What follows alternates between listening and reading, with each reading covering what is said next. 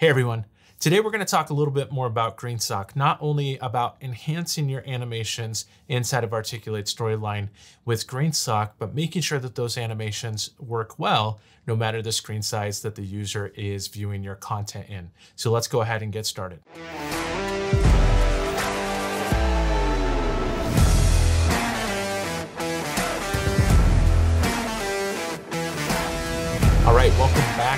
Is Jeff Batt, and if you haven't checked out my website already, go ahead and check out my website. Here you can see all my previous blog posts with all the different tips and tricks on e-learning production, as well as Articulate Storyline, Augmented Reality, Adobe Captivate. You can also check out and download Articulate Storyline 360 templates, as well as XAPI and video templates that allows you to track video through XAPI. And then if you're new to any of these subjects, you can check out full courses, everything from A to Z on Articulate Storyline 360, Adobe Captivate, XAPI Fundamentals, Camtasia, Articulate Rise, Custom SCORM, and HTML5 video. But today we're going to be talking about a little bit more about GreenSock. Now, I have posted a couple videos on GreenSock and enhancing the animations inside of Articulate Storyline with GreenSock and just some simple JavaScript code snippets. But one question was proposed by a previous user how the animations were kind of thrown off when you resize the storyline uh, page here. So we're going to preview that and then show you what's wrong. And then I'm going to go in and show you how to fix it. So let's go ahead and I'm going to pull up this course. All right, so I published out this course just so we can see what's wrong for now. And I'm gonna go ahead and double click on the story.html and jump down to GreenSock animations. Now I'm going to click on Start Animations, and this is what we learned about last week. If I go ahead and resize this, this browser window, and then hit Start Animations again, or even if I refresh it and hit Restart and hit GreenSock Animations, notice that it kind of goes off the stage there. Because I'm doing X or Y on that, it it's going to still go the same amount, even though the window size has actually changed. Now, the window size is something called a viewport. Now, viewports are basically that window that the animation can play in, or it's the size of your browser sometimes, but because Storyline has a player, it's actually the size of the stage in this case. There is a way to work around this and a way to fix this, and it's a pretty simple fix. And so what I'm gonna go ahead and do is I'm gonna close this out because it's always good to kind of close that out. And if you want to check out more about GreenSock and some of their animations, you can go to greensock.com. But let's come back into Storyline and go into this simple JavaScript right here. So we're grabbing the object through an alt text, which you can do this different ways. I know one user showed that you can actually call a group and specifically target a group, which is great. But I'm going to show you just keeping this in mind as well.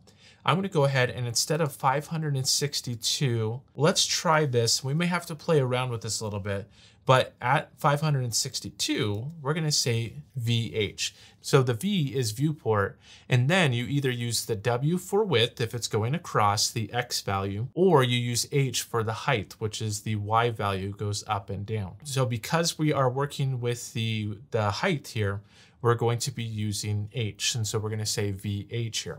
So I'm to go ahead and click OK here.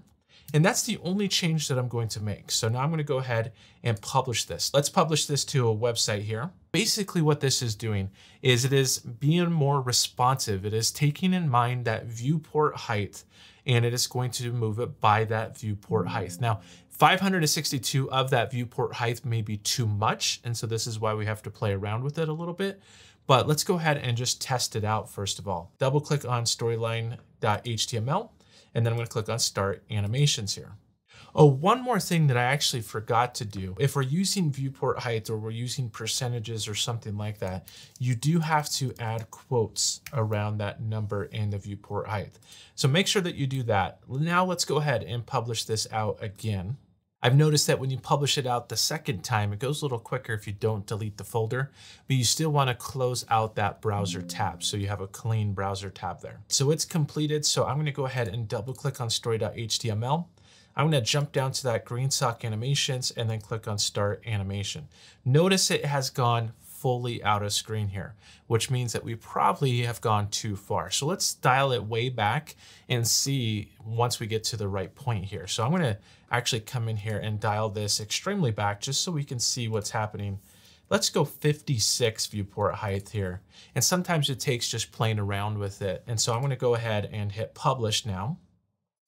Now again, after the first time you publish, it should be fairly quick. I had another user ask me what I use to actually run Storyline. I use Parallels, and so Parallels allows me to install Windows on my Mac, and I use the Mac to run both my Mac and my Windows.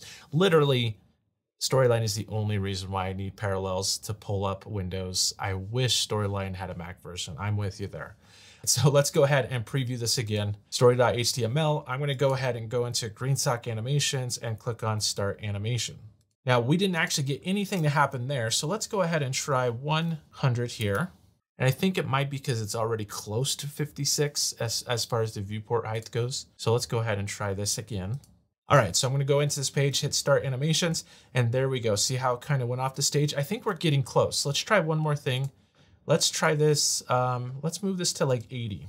And this is close to percentages as far as like 80% of the stage height, I think but it's not exactly because it could depend on the size of the screen, but I'm just gonna try this real quick. See if it pushes it close to the edge of the screen, but not exactly. There we go. All right, so it does register at the top left-hand side. So I may want to actually try switching this.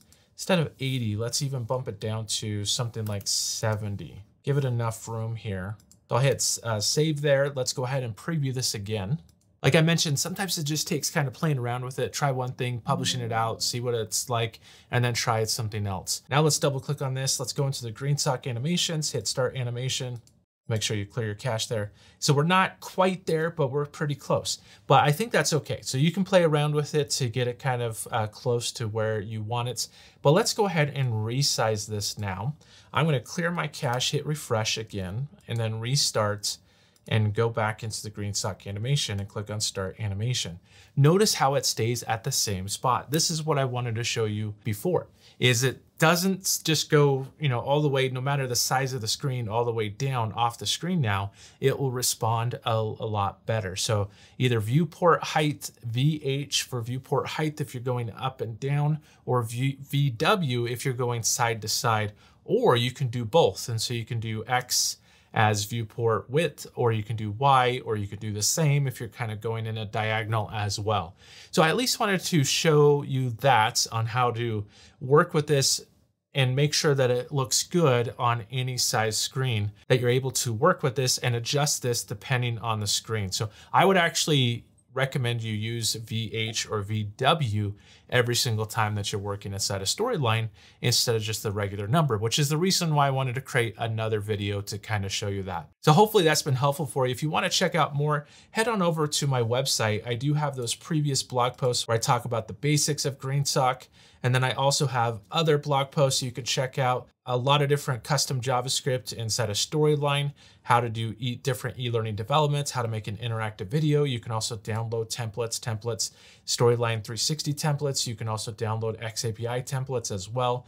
You can also check out full courses, everything from A to Z in Articulate Storyline 360, Adobe Captivate, XAPI Fundamentals, Camtasia, Articulate Rise, Custom SCORM, and HTML5 video. Hopefully that was helpful for you. And if you want to see more videos like this, head on over to my YouTube channel, click that like button, and then subscribe to my channel and hit that bell notification so you get notified of all future videos as they come out. That really helps grow my channel, allows me to keep making these helpful tips and tricks for you uh, about anything learning development. So uh, if you have anything else that you want to see with GreenSock or anything like that, go ahead and comment down below at my YouTube channel.